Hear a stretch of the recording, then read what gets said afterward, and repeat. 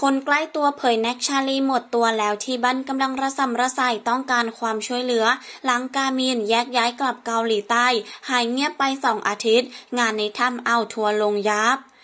เป็นประเด็นที่หลายคนเฝ้าติดตามกันมาหลายวัน เมื่อแน็กชาลีออกมาประกาศแยกย้ายกับกามิน หลังพัฒนาจากคู่จิ้นเป็นคู่จริง โดยแน็กบอกว่าไม่ได้คุยสองอาทิตย์แล้ว ตั้งแต่กามินกลับเกาหลี จากนี้ต้องทำงานคนเดียวให้ได้ จากนั้นทัวร์ก็ลงกามินแบบฉ่ำๆทั้งดราม่าตั้งครรภ์มีแฟนแล้ว หาผลประโยชน์ในไทย ซื้อรถหรูบ้านหลังใหม่ ก่อนที่หลายคนจะแห่เลิกติดตามกามิน ในขณะเดียวกัน พี่แนนคนใกล้ชิดของแน็กชาลีได้ออกมาไลฟ์ผ่าน TikTok ในทำนองว่า พี่แนนถูกเชิญให้ไปอยู่ในที่ประชุม ตนเองไม่ได้ออกมาพูดอะไรเล่นๆแบบนี้ เพราะมันไม่ใช่ของเล่นอยู่แล้ว โดยหลังจากที่แน็กออกมาไลฟ์ก็เป็นข่าวเลย ยืนยันว่าเรื่องที่ตัวเองออกมาพูดในวันนี้ เป็นข่าวแน่นอน ไม่ได้พูดเท็จแต่อย่างใด